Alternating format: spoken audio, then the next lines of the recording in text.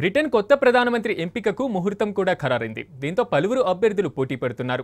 భారత సంతతికి చెందిన నలభై రెండేళ్ళ రిషి సునాక్ రిటర్న్ ప్రధానమంత్రి పీఠమెక్కబోయేటువంటి కీలకమైన కన్జర్వేటివ్ పార్టీ నేత ఎన్నిక రేసులో ముందున్నారు. ఇక మాజీ ఆర్థిక మంత్రి ఇన్ఫోసిస్ వ్యవస్థాపకుడు నారాయణమూర్తి అల్లుడైన రిషి బుధవారం తొలి రౌండ్లో అత్యధికం సాధించడంతో అందరి దృష్టి ఆయనపై పడింది. ఇక రిషి సునాక్ అత్యధికంగా ఎనభై ఎనిమిది మంది పార్టీ ఎంపీల ఓట్లను గెలుచుకోగా ప్రధాన పోటీదారుడు పెన్నీ మోటర్ అరవై ఏడు ఓట్లతో గట్టి పోటీ ఇస్తున్నారు ఇక మిగతా అభ్యర్థులైన లిజిట్రస్ యాభై ఓట్లు కెమీ బదేనోక్ నలభై ఓట్లతో పాటుగా భారత సంతతికి చెందిన అటార్నీ జనరల్ సుయేల్లా బెవర్మర్ ముప్పై రెండు ఓట్లతో తొలి రౌండ్లో మంచి ఫలితాలని సాధించారు. ఇదిలా ఉంటే కనీసం ముప్పై మంది ఎంపీల మద్దతు కూడగట్టడంలో విఫలమైనటువంటి నదీం జవాబీ అదేవిధంగా రెమియా హంట్ ప్రధాని రేసు నుంచి నిష్క్రమించారు. అలా ఆరుగురి అభ్యర్థులు మాత్రమే ప్రస్తుతం పోటీలో మిగిలారు. ఇక ఎంపీల మద్దతుతో రిషి సునాకు దూసుకుపోతుండగా కన్జర్వేటివ్ పార్టీ సభ్యుల్లో పెన్నీకి మద్దతు పెరుగుతున్నట్లు వస్తున్న సమాచారంతో ఎన్నికపై ఉత్కంఠ పెరుగుతుంది. గురువారం కన్జర్వేటివ్ ఎంపీలు తమ ఫేవరెట్ అభ్యర్థులను ఎన్నుకున్నారు. ఇక జూలై ఇరవై ఒకటి కల్లా ఇద్దరు అభ్యర్థులు మాత్రమే మిగులుతారు. ఇక టాప్ టూలో ఉన్నటువంటి రిషి పెన్నియే రేసులో ఉంటారని అంచనా. తర్వాత రెండు లక్షల మంది కన్జర్వేటివ్ పార్టీ సభ్యుల్లో అత్యధిక మంది సపోర్ట్ కూడగట్టుకునే వారే పార్టీ నేతగా ఎన్నికై సెప్టెంబర్ ఐదున ప్రధానమంత్రి పదవిని అందుకుంటారు. ఇక ఇప్పటికే తమ అభ్యర్థిత్వాన్ని ప్రకటించిన అభ్యర్థుల జాబితాలో ప్రస్తుతానికి ఇద్దరు భారతీయ సంతతికి చెందినటువంటి నాయకులు ముందు వరుసలో ఉన్నారు. ఈ జాబితాలోని మాజీ ఛాన్సలర్ రిషి సునాక్ అందరికన్నే ముందుండగా అటార్నీ జనరల్ సుయేల్లా బ్రెవర్మన్ చివరి స్థానంలో ఉన్నారు. ఇక ఈసారి భారతీయ సంతతికి చెందినటువంటి రిషి ప్రధానమంత్రి అయ్యేటువంటి అవకాశం ఉంది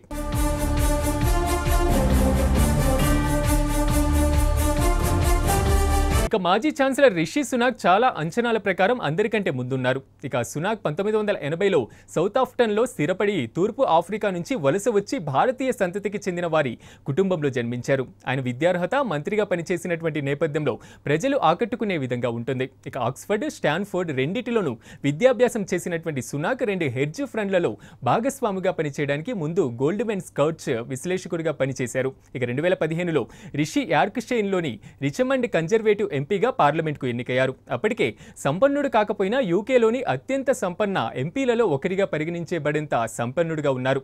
దానికి తగ్గట్లే రిషి సునాక్ భారతదేశ ఐటీ దిగ్గజం. ఇన్ఫోసిస్ వ్యవస్థాపకుడు నారాయణమూర్తి కుమార్తె అక్షరామూర్తిని కూడా వివాహం చేసుకున్నారు. ఇక సునాక్ కూడా బ్రెక్సిట్కు బలమైనటువంటి మద్దతుదారుగా పనిచేశారు. అయితే ఆయన యూరోపియన్ యూనియన్ నుంచి ఉద్భవిస్తున్నటువంటి రెడ్ టెపిటిజంతో యూకే వ్యాపారాలు చాలా అణుచివేయబడ్డాయో వాక్చాతుర్యంతో వివరించారు. ఇక యూకేలో ఓటర్లలో సునాక్కు ప్రజాదరణ ఎక్కువగా భాగం. ఇక సాంప్రదాయవాదం లేదా ఇతరత్ర రాజకీయాలు జాన్సన్ ప్రభుత్వానికి ఛాన్సలర్గా కోవిడ్ నైన్టీన్ మహమ్మారిని నిర్వహించడంలో ముందున్నారు. ఇక కోవిడ్ లాక్డౌన్ ఆర్థిక సంక్షోభం సమయంలో యూకే వ్యాపారాలకు మద్దతుగా బిలియన్ల కొద్దీ ఫౌండ్లను ఖర్చు చేయడానికి యూకే ప్రభుత్వ ప్రయత్నాలను రిషి సునాక్ సాయపడ్డారు. ఇక మృదువుగా మాట్లాడడం అందరిలో చక్కగా కలిసిపోయేటువంటి టెక్నోక్రాట్గా బ్రిటన్లో ఆయనకి ఇమేజ్ ఇప్పటికీ పదిలంగా ఉంది. అయితే సునాక్ కూడా వివాదాలకు అతీతుడేం కారు.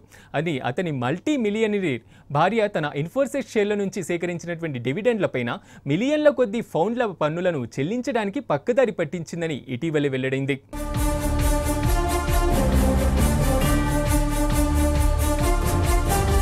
ఇక సునాక్ తన పదవీ కాలంలో అనేక పన్నులు పెంపులకు కారణమని ఇక దీని వలన సగటున పనిచేసేటువంటి యూకే కుటుంబాలపై పన్ను భారం పెరిగిందని విమర్శలు వచ్చాయి. ఇక ఉక్రెయిన్లో యుద్ధం జరుగుతున్నప్పటికీ రష్యాలో ఇన్ఫోసిస్ కార్యకలాపాలు కొనసాగిస్తున్నటువంటి వార్తలకు సంబంధించిన సునాక్ భార్య కూడా ఇటీవలే బ్లడ్ మనీ అనేది వసూలు చేసినట్లు ఆరోపణలు వచ్చాయి. రష్యాపై గరిష్ట ఆర్థిక ఒత్తిడి కలిగించడానికి యూకే వ్యాపారాలను రష్యా నుంచి వైదొలిగేటువంటి ప్రయత్నాలలో సునాక్ ముందంజలో ఉన్నారని ప్రచారము జరిగింది. ఇక యూకేలో కొనసాగుతున్నటువంటి ద్రవ్యోల్బణం అదేవిధంగా జీవన వ్యయ సమస్యలు కూడా సునాక్ పట్ల ప్రజలలో కాస్త ఆగ్రహం ఉంది.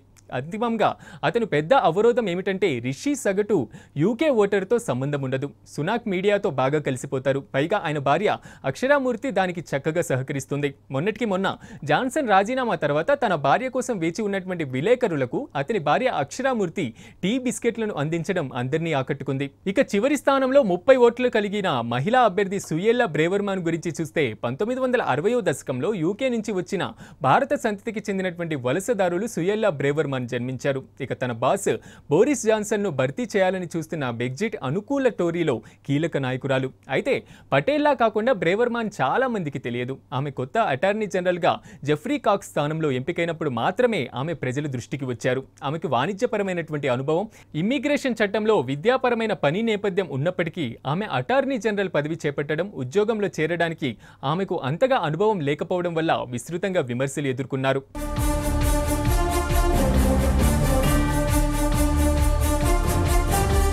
దీనిని గమనించడానికి బ్రేవర్మాన్ త్రిరత్న క్రమాన్ని అనుసరించారని కూడా ప్రచారము ఉంది. ఒకప్పుడు యూకేలోని అతిపెద్ద బౌద్ధ శాఖలలో ఒకటిగా ఉంది. ఇక సమాజంలో న్యాయ వ్యవస్థ పాత్ర గురించి బ్రేవర్మాన్ కలిగి ఉన్నటువంటి భయంకరమైన అభిప్రాయాలు మరింత పర్యవసానంగా ఉన్నాయి. ఇక ఆమె చాలా కాలంగా మానవ హక్కుల చట్టాల్ని విస్మరిస్తూ వస్తున్నారు. ఇక యూకేని European Court of the Human Rights నుంచి బయటకు తీసుకువెళతానని ప్రతిజ్ఞ చేశారు. దేశం తన సరిహద్దులపై నియంత్రణను తిరిగి తీసుకోవడానికి ఇది అవసరమైనటువంటి చర్య అనేవారు. ప్రజలతో ఎన్నుకోబడినటువంటి న్యాయ స్థానాలను అప్పగించినటువంటి అధికారాలు తిరిగి తీసుకోవడానికి పార్లమెంటుకు ఇది సమయమని ఆమె న్యాయ సమీక్ష భావనను బయటపెట్టారు. ఇక ఆమె రైట్ వింగ్కు మద్దతిచ్చారు.